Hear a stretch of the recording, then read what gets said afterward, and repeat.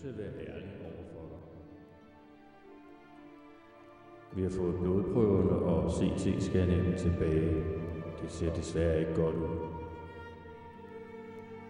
Du har blodmangel, og din leverfunktion er nedsat.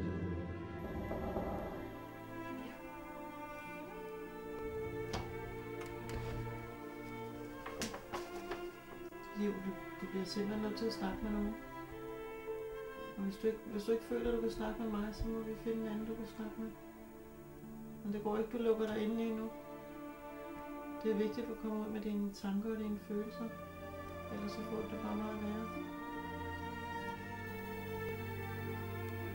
Jeg forstår at det er svært lige nu, men vil du ikke love mig, at du kommer ud med dine bekymringer?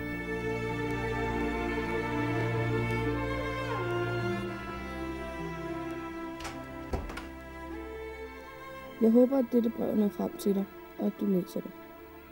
Jeg har fået kraft, og jeg rædselslænder for at dø. Jeg har ingen i mit liv, der betyder noget for mig. Dem omkring mig lader som om, det interesserer sig for mig. Jeg har ikke lyst til at tale med dem. Der beder der svare på mit brev. Jeg har brug for en at snakke med. En, der har lyst til det. En, der ikke gør det af tvang. Svar mig. Liv.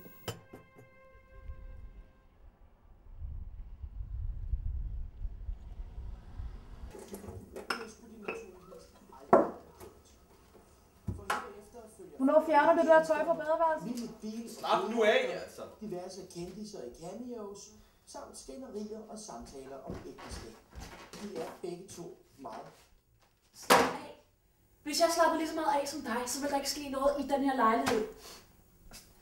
Kan du, kan du i det mindste gå ned og hente posten? Jeg spurgte dig for 10 minutter siden. Ja, selvfølgelig kan jeg gå ned og hente posten. Jeg har da ikke hørt, at du sagde, at jeg skulle hente posten lidt, altså.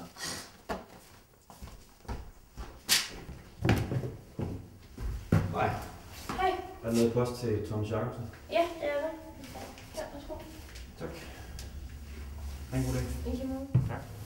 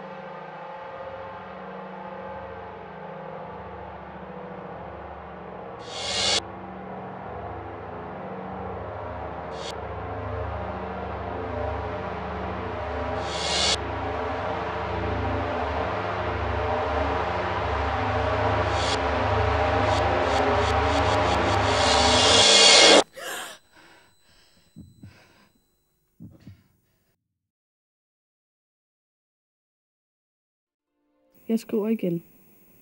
Selvom du ikke har svaret på mit sidste brev. Jeg er bange for at dø. Fordi der er så meget, jeg ikke har nået endnu.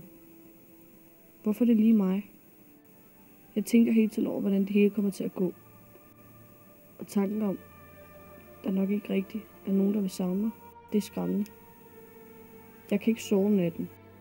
Jeg vil ikke dø alene, uden nogen liv. Jeg går nu, Thomas. Jeg vil gerne være lidt alene. Jeg gider ikke det her forhold. Det er kun mig, der prøver at få det til at fungere. Det kan ikke være rigtigt. Jeg fortjener noget mere.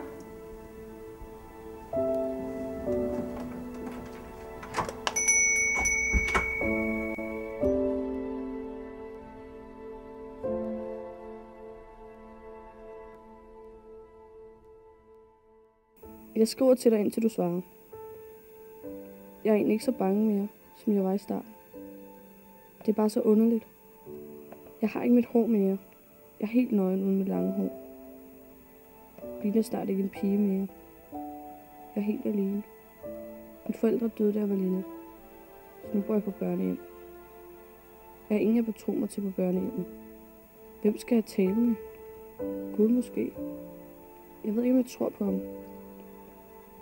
Nok mest fordi, hvis der var en Gud, hvorfor hjælper han mig så ikke? Jeg håber, Gud giver dig brev nu. Og jeg håber, du svarer mig en dag. Liv.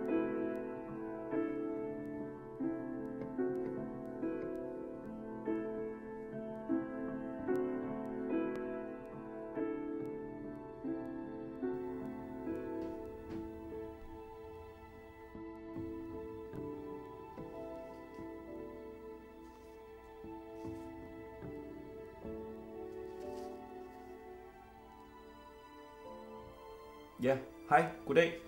Du taler med Thomas Jacobsen. Er det, er det Lærkevejens Ungdoms- og Børnecenter? Det er det, ja. Jeg ringer fordi, at, øh, at jeg har, øh, jeg har ig- igennem et længere stykke tid haft kontakt til en pige, der hedder Liv, Liv Nielsen. Øhm, og jeg, jeg vil simpelthen høre, hva- hva- hvordan er Livs øh, tilstand? Relateret? Øh, nej, nej, jeg er ikke, ikke, ikke familie, nej.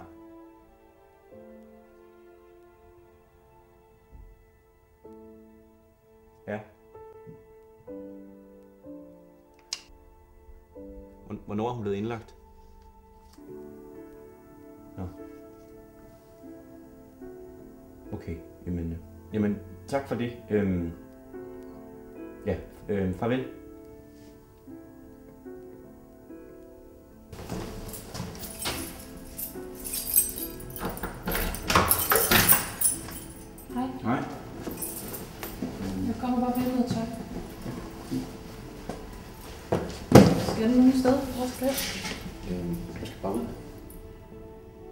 Bare gå ind, det er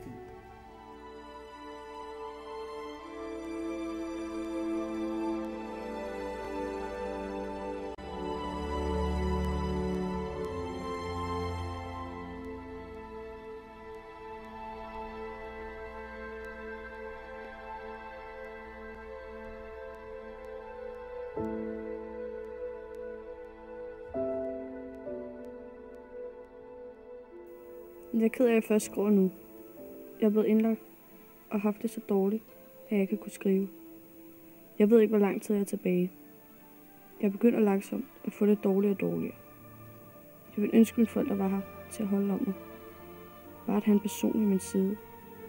Alt andet bliver så ligegyldigt, når man opdager, at man ikke har så lang tid tilbage.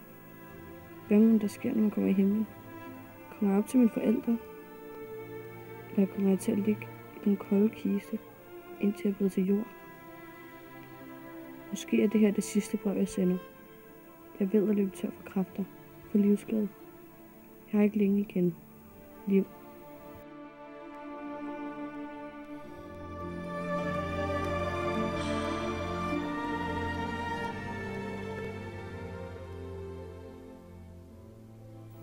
Kære liv, jeg er ked af, at jeg ikke har svaret på dine breve. Jeg vidste ikke, hvad jeg skulle skrive. Du ved det ikke, men du har været meget i mine tanker på det sidste. Jeg føler med dig. På en eller anden måde, så føler jeg, at jeg kender dig. Og jeg er ked af, at jeg ikke har svaret dig. Du har fået mig til at tænke over, hvad der er vigtigt for mig. Og du skal vide, at jeg er for dig. Hilsen Thomas.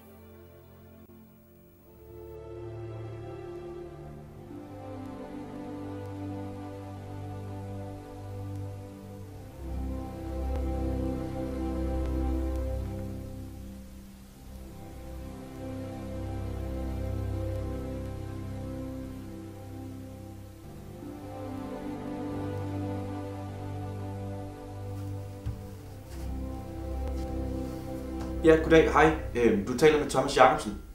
Jeg ringede for et stykke tid siden øhm, i anledning af, af Liv Nielsen. Øhm, hvordan er har- Ja, Liv er desværre ikke hos os mere. hun er, hun er blevet forflyttet, eller er hun kommet tilbage? Nej. Hun gik bort for en uges tid siden. Det gør mig virkelig ondt. Okay. Farvel.